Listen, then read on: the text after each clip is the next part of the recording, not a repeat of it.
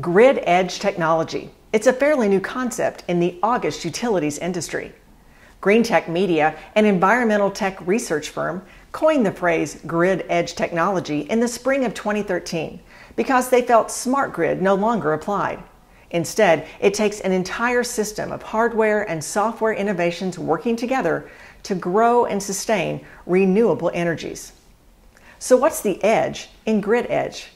It's the U.S. shift from our traditional centralized electrical system to a more distributed, responsive grid with energy solutions located closer to the consumer. And Grid Edge has enormous potential. Service stability for your smart home when congestion spikes are looming, excess energy storage from renewable sources and batteries, hydrogen production for fuel cell vehicles, and in an emergency, the ability for schools or municipal buildings to separate from the bulk power grid to provide critical infrastructure.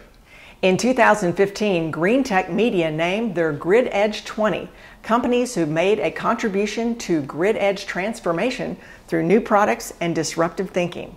Among the honorees, BitStew, who made strides with utility partners to improve data visualization and operator awareness and efficiency and Schneider Electric, who has impacted every aspect of the grid edge, including circuit breakers, distribution grid gear, and control software.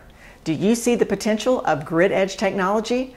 Join the conversation in the NG Utilities group on LinkedIn.